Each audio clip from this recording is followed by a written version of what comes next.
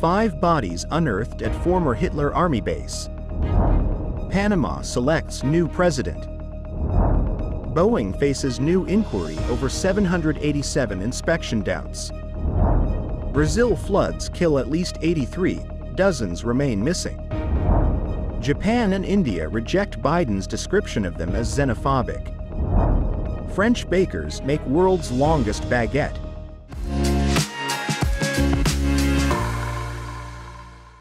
Hello, I'm Wade Lee. Thank you for joining us on Funday News. It is Wednesday, May 8th, and here are your top stories.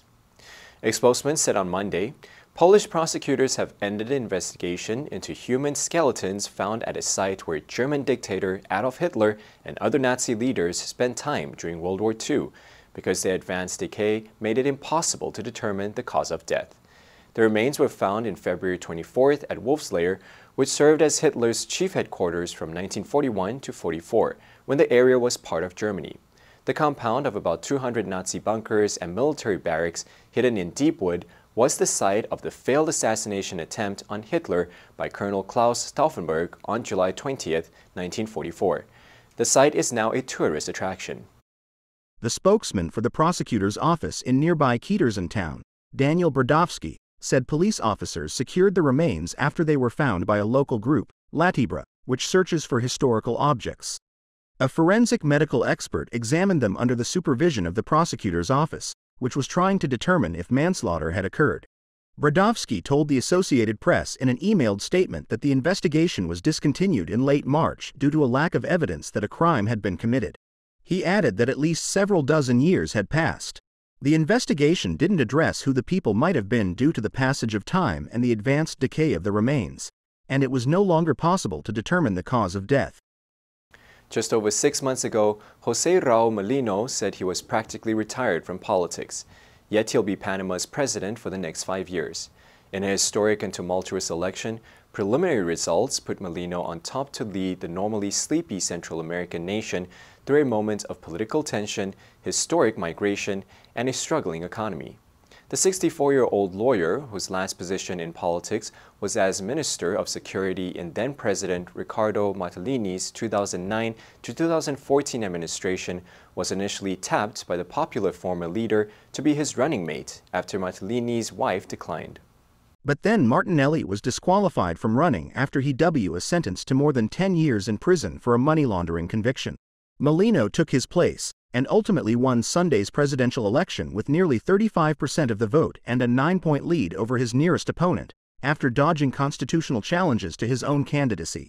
The president-elect got there with strong support from Martinelli, arguably the most important tool in Mulino's campaign as he rode the fiery ex-leader's popularity to victory.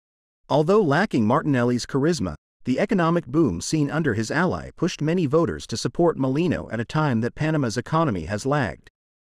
The U.S. has opened a new inquiry into troubled jet firm Boeing after the company told air safety regulators that it might not have properly inspected its 787 Dreamliner planes. The Federal Aviation Administration said it would look into whether staff had falsified records. It said Boeing was re-inspecting all 787 jets still on the manufacturing line. Boeing will be forced to develop an action plan to address concerns about planes already in service. According to a message seen by BBC News, it told staff internally last week that the misconduct had not created an immediate safety of flight issue. Already under intense scrutiny, this morning Boeing is the focus of yet another FAA investigation. The agency looking into whether the company actually completed required. It is the latest problem to erupt at Boeing since January when an unused emergency exit door blew off a new 737 MAX 9 plane shortly after takeoff, thrusting its manufacturing and safety processes into the spotlight. The incident prompted the temporary grounding of dozens of planes and forced the firm to drastically slow production, while sparking increased regulatory oversight, criminal investigations, and other legal and financial troubles.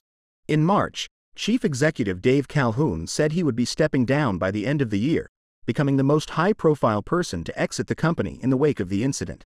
Boeing has said it is working to reform its corporate culture to encourage people who see problems to speak out, with a more than 500% increase in reports from employees since January.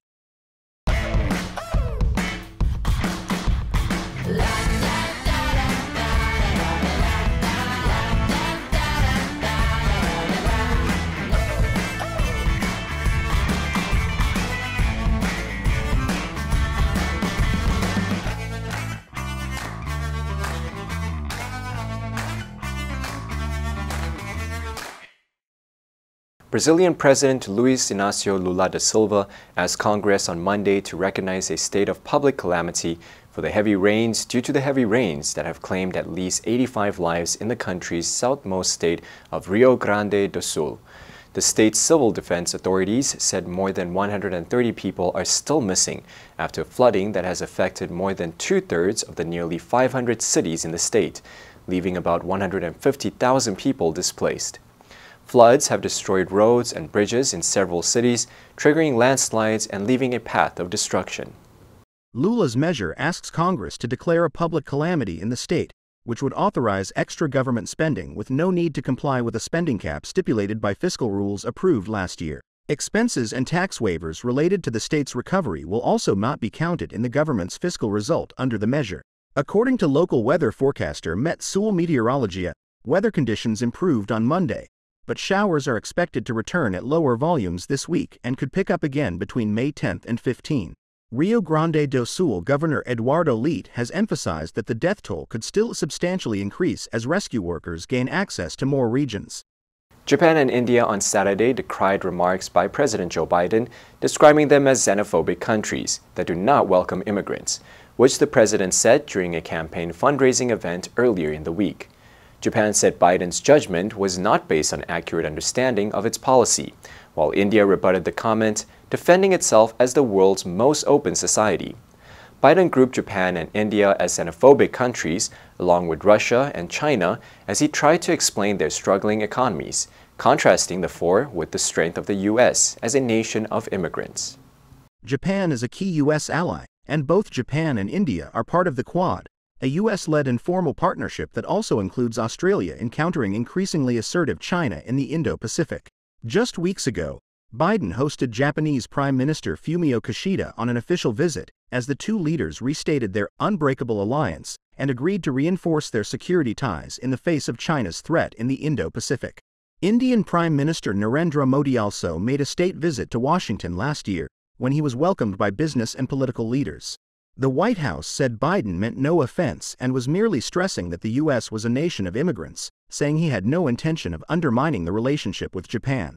French bakers cooked the world's longest baguette on Sunday at 140.53 meters, reclaiming a record for one of the nation's best known emblems taken by Italy for five years. The baguette, about 235 times longer than the traditional one, was made in Suresnes in the suburb of Paris during an event for the French Confederation of Bakers and Pastry Chefs. The previous longest baguette measuring 132.62 meters was baked in the Italian city of Como in June 2019. To better that, the French bakers began kneading and shaping the dough at 3 a.m. before putting it in a specially built slow-moving oven on wheels. After the baguette was approved by the Guinness World Records judge, one of the bakers, Anthony Arrigo, said, Everything has been validated. We are all very happy to have beaten this record and that it was done in France. Part of the baguette, which had to be at least 5 centimeters thick throughout, was cut and shared with the public.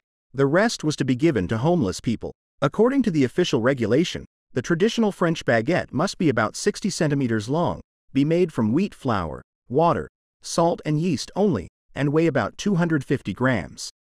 The answer for yesterday is A, prolong. The operation could prolong his life by two or three years. Did you answer correctly? Now let's delve into the news of Boeing faces new inquiry over 787 inspection doubts. Number 1. Falsify. 篡改,伪造. The charges against him include fraud, bribery, and falsifying business records. Number 2. Internally. 内部的 the country stepped up internal security. Number three, thrust, 猛推,冲. He tends to thrust himself forward too much. Next, we have a multiple choice question for everyone to practice. Which answer would you choose? You can write your answer in the comment section. The correct answer will be announced tomorrow. And that's it for today's Fun Day News. Be sure to tune into Fun Day News from Monday to Friday and click the link below to join Fun Day for free. I'm Wei Li, your host. I'll see you next time.